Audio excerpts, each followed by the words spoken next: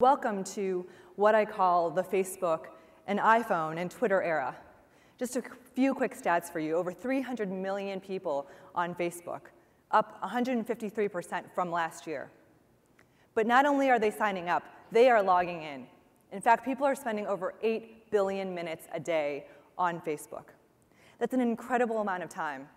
And whatever business we're in, whatever role or function, function we may play, we need to be where our audience is.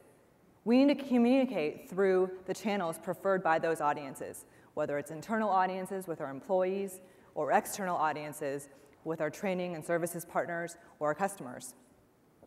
Twitter and iPhone uh, show similar spectacular growth. Uh, 58 million users on Twitter today, and nearly the same amount on the iPhone. And so the question is, is email dead?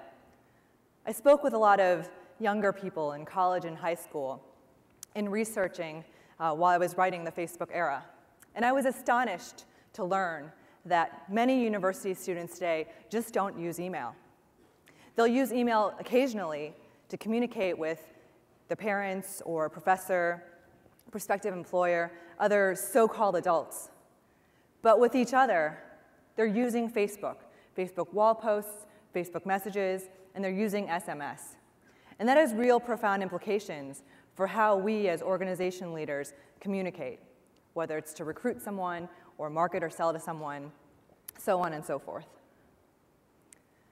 But it's not just a snapshot in time. This growth has been going on for the last five years. It's really incredible to, to watch. Uh, you can see these picture, you know, storybook hockey stick graphs for both Facebook since it started on the left as well as the iPhone and iTouch subscribers on the right. So it's incredible momentum being led in the social space by companies like Facebook and being led in the mobile space by companies like Apple with the iPhone.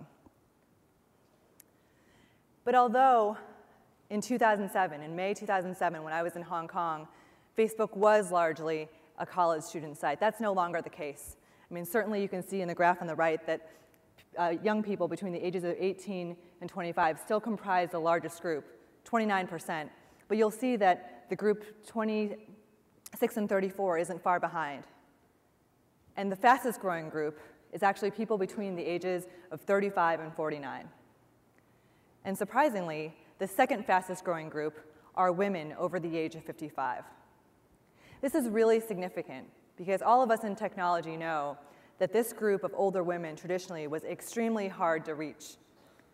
The older women, 55 and over, they were technophobes in general. People like your mothers and your grandmothers, they generally did not sign up for technology services as soon as they came up, but they are signing up en masse for the iPhone, and they are signing up en masse for Facebook. And so it really goes back to what the previous panel talked about, which is that social media enables us to be people-centric rather than technology-centric.